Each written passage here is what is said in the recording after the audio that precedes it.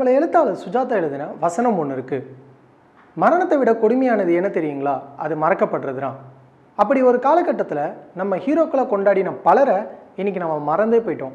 அவங்களாம் எங்கே எப்படி இருக்காங்கன்னு நமக்கு ஞாபகத்திலே இல்லை. அவங்க எல்லாரையும் மறுபடியும் உங்களுக்கு ஞாபகப்படுத்துறதுக்காக தான் இந்த ஷோ குந்தம் நேயர்கள் அனைவருக்கும் வணக்கம். நான் உங்கள் மணிமாறன். இது மறக்கப்பட்ட ஹீரோக்கள்.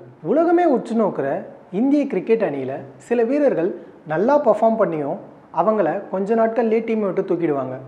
அதுக்கப்புறம் அவங்கள நம்மளும் மறந்துடுவோம் அந்த வரிசையில் இருக்க ஒருத்தரை பற்றி தான் இப்போ நம்ம பார்க்க போகிறோம் அவர் வேற யாரும் இல்லைங்க. தமிழகத்தை சேர்ந்த இந்திய அணியின் முன்னாள் கிரிக்கெட் வீரர் சடகோபன் ரமேஷ் அவர்கள் தான்.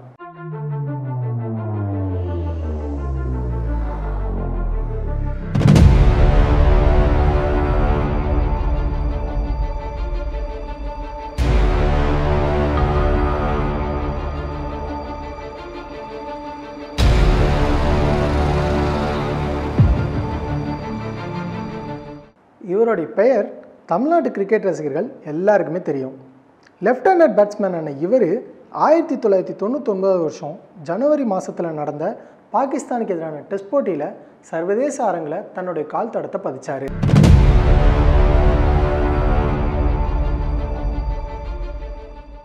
நம்ம சடகோபன் ரமேஷ் தான் களமிறங்கின முதல் போட்டியோட முதல் இன்னிங்ஸில் நாற்பத்தி மூணு ரன்களும் இரண்டாவது இன்னிங்ஸில் அஞ்சு ரன்களும் மட்டுமே எடுத்தார். அந்த மேட்ச்சில் சச்சின் தவிர வேறு யாருமே நல்லா விளையாடாத காரணத்தினால இந்திய அணி பாகிஸ்தானிடம் வீழ்ந்துச்சு. அதுக்கு அடுத்த ரெண்டாவது டெஸ்ட் மேட்ச்சில் முதல் இன்னிங்ஸில் அறுபது ரன்னும் ரெண்டாவது இன்னிங்ஸில் தொண்ணூத்தாறு ரன்னும் விளாசி தள்ளினார் சடகோபன் ரமேஷ். அது வேறு எந்த போட்டியும் இல்லைங்க. அனில் கும்ப்ளே ஒரே இன்னிங்ஸில் பத்து விக்கெட் எடுத்தார். அந்த மேட்ச் தான். அந்த போட்டியில் இந்திய அணி அபார வெற்றி பெற்றது. ஆனால் ஒரே இன்னிங்ஸில் அனில் கும்ப்ளே பத்து விக்கெட் எடுத்ததுனால நம்ம சடகோபன் ரமேஷோடைய அதிரடி ஆட்டம் வெளியே தெரியாமலே போயிடுச்சு.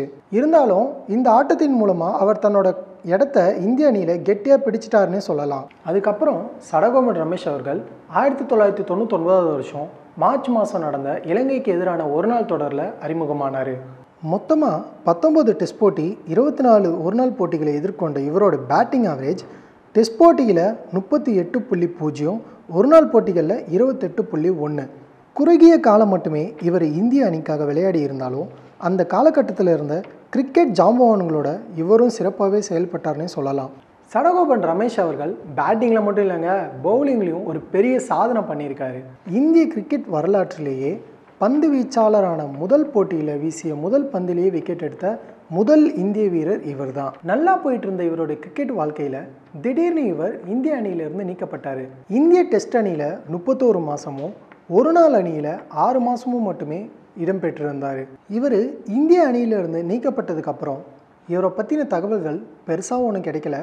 அதற்கப்புறமா இரண்டாயிரத்தி எட்டாம் ஆண்டு வெளியான சந்தோஷ் சுப்பிரமணியன் படத்தில் ரீஎன்ட்ரி கொடுத்தாரு.